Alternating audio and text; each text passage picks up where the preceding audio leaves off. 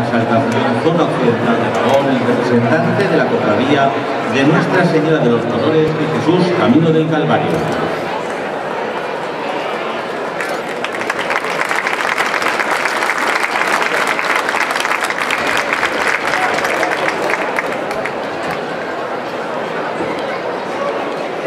A continuación,